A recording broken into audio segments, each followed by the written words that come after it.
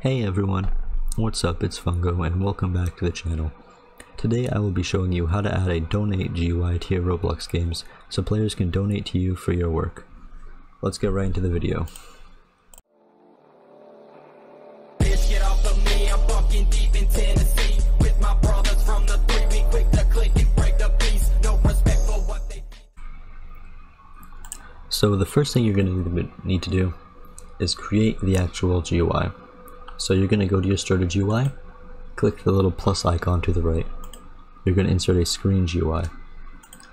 And then you're going to want to insert a frame into that screen GUI. And I'm going to drag it down here. You can size it however you want. You can also put it wherever you want. This is just going to be the button they click to donate. I'm going to put mine there. I'll set the background color to this nice blue. And I'm going to remove the border pixel. Next thing I'm going to do is duplicate that frame and put it inside the first one. I will then change the Zindex value, which is down here, to negative 1. Put it in the same position. Change it to a slightly darker color than the first one.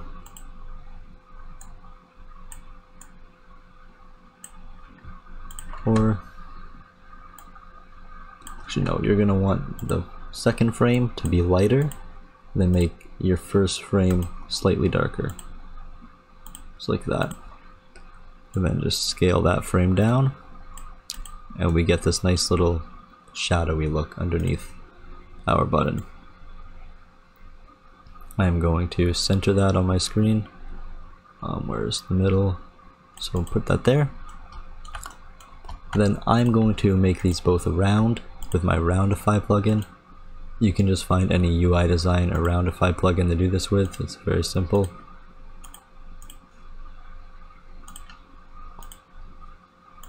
Or you can keep it as a um, you can also just keep it how it is if you want to. It doesn't need to be round, I just prefer the way it looks. I think it looks cleaner and more simulatory and cartoony. But the UI design is completely up to you, it doesn't need to look how I'm making it. You can obviously design your UI to look however you want. The only thing that you will need is some sort of button. So in here I'm going to insert a text button However, you can use an image button if you want as well, it will work the exact same. I'm then going to size my button, change the background transparency to 1, change the font to Source Sans bold, text color to white, scale the text, and make it say donate. So once you have your button made, you are going to want to go and insert a local script into your button. So next you will need to open up Roblox um, in a web page. So you're going to want to go to the create tab of your Roblox website. Once you are here, you're going to want to find the place you are working on. So mine is this place. You're going to click the gear icon to the right of the edit button and then click configure game. Once you have done that, you will be brought to this page where you will then click developer products. You're going to want to click create new at the top. I'm going to name the product donate 10 and then make the price in Robux 10 and then click create. You can obviously replace 10 with whatever you want the donation amount to be. Next, you're going to want to copy this ID next to your developer product. So highlight that and then press Ctrl C or right click and copy. Now go back to your local script in Roblox Studio and type local donate product ID equals and then paste your ID. I'm going to go back above that and type local player equals game.players dot local player and local ms equals game colon get service marketplace service. So in your first line, you want to say local player equals game dot players dot local player to get the player. Local ms equals game colon get service marketplace service. That is going to get the marketplace service, which is used to prompt Game Pass purchases, get Game Pass asyncs, and prompt product purchases. Then you also need a variable with your developer product ID, which we just got off of the Roblox website here.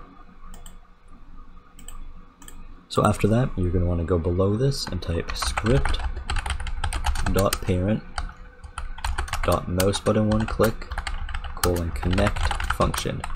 So this is saying when you click the mouse button, connect run the code that is in this block.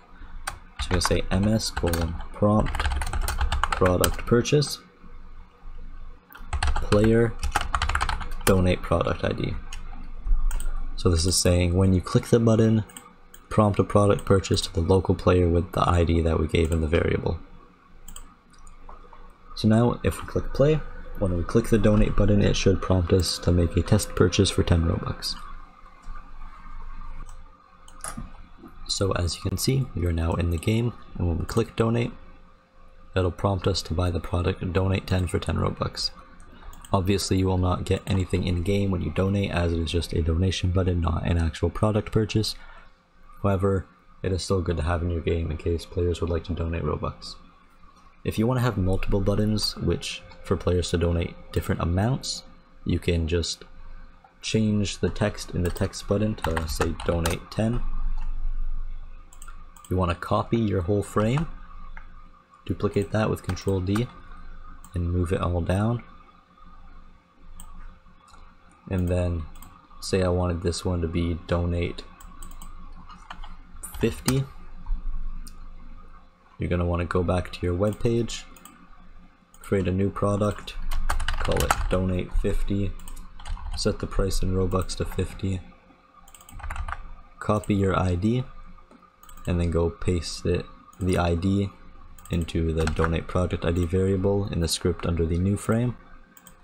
So if we test it again, now we'll have two donation buttons, one which allows us to donate 10 Robux, and one which allows us to donate 50 Robux. So now that we have loaded into the game, we can test this. So same as before, if we click donate 10, it'll allow us to donate 10 Robux. But now we have a second button where if we click donate 50, it will allow us to donate 50 Robux instead. So I hope you all enjoyed this video and found it helpful. If you did, make sure to leave a thumbs up, subscribe to the channel, and leave a comment um, giving me any ways I can improve my videos, any other videos you want to see, or just any general comments you have. Also make sure to join the Discord server, the link to that will be in the description below, and I'll see you all in the next one.